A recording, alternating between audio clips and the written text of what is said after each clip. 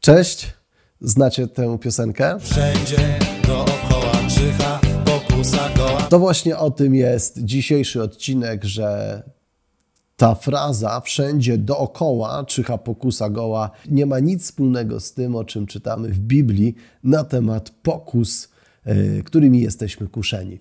Pięć minut i po przerwie staram się wyjaśnić o co chodzi.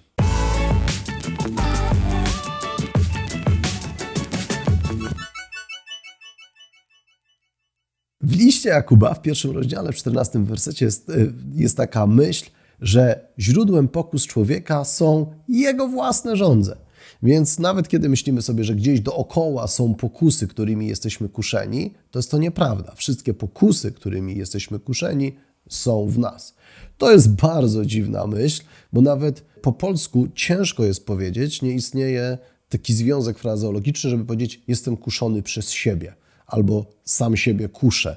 Od razu się zastanawiamy, ale co ty masz na myśli? Sam siebie kusisz albo przez siebie samego jesteśmy kuszeni, ale to wynikałoby z tego właśnie, co mówi ten fragment, który przed, przed chwilą przeczytałem. Źródłem pokus człowieka są jego własne żądze, to one go pociągają i nęcą. Czyli pociąga imię i nęci nie to, co jest na zewnątrz, wszędzie dookoła, czyha pokusa goła, nic z tych rzeczy. Wszystko, co mnie kusi, jest wewnątrz mnie. Więc to nawet ciężko jest powiedzieć po polsku. Brzmi co najmniej dziwnie i podejrzanie, sam siebie kuszę, natomiast albo przez siebie samego jestem kuszony, bo przywykliśmy do tego, że po polsku mówimy jestem kuszony przez, przez coś, co na zewnątrz, prawda? Jestem kuszony, nie wiem, przez tę osobę, jestem kuszony przez te rzeczy, jestem kuszony przez takie zachowania, jestem kuszony tymi okolicznościami i ciągle gdzieś to jest na zewnątrz. W skrajnym przypadku, z czym Jakub polemizuje wprost, jestem przez Boga kuszony. Boże, dlaczego wystawiasz mnie na takie pokusy? Natomiast to, co mówimy w sferze języka, jednak język y, kształtuje nasze myślenie, więc to, co mówimy, wyrażając się w ten sposób, dokonujemy pewnego uproszczenia, ale przez to w naszych myślach zupełnie gubimy istotę tego, czym jest pokusa.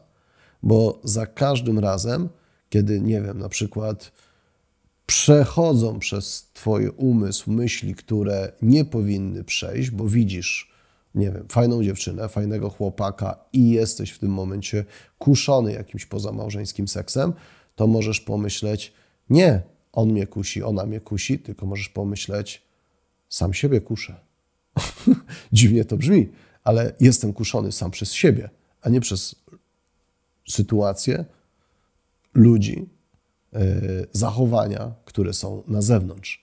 Nasze myślenie jest takie, że, że niebezpieczeństwo jest na zewnątrz, a całe niebezpieczeństwo jest w nas, bo to, co jest w nas, pociąga nas i nęci. Własne żądze.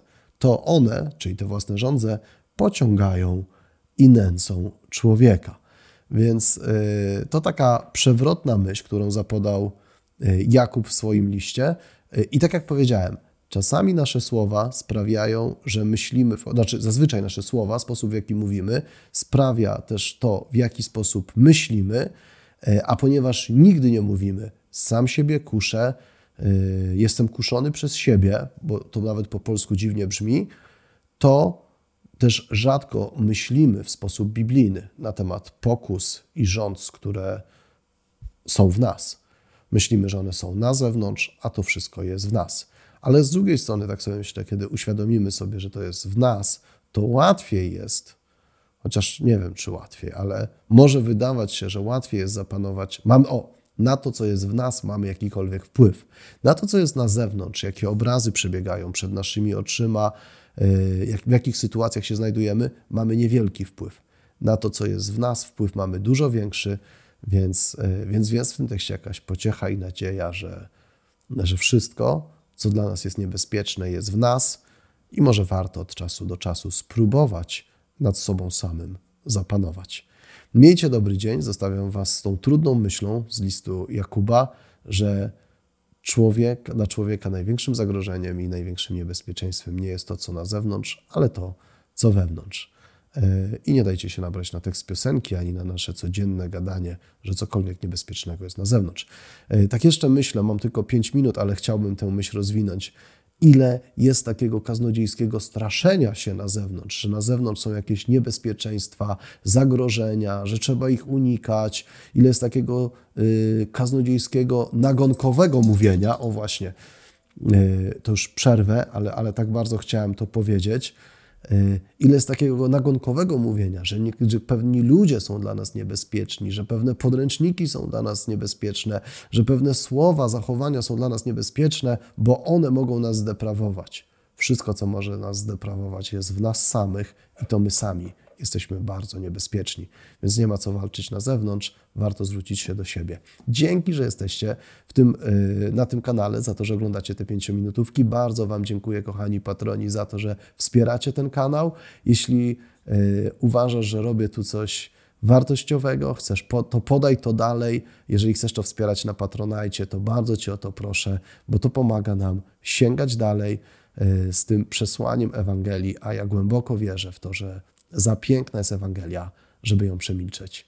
Dziękuję za każde wsparcie, za Wasze modlitwy, za lajki, za udostępnienia i za wszystkie dobre słowa, które też wrzucacie, czy w komentarzach, czy w prywatnych wiadomościach.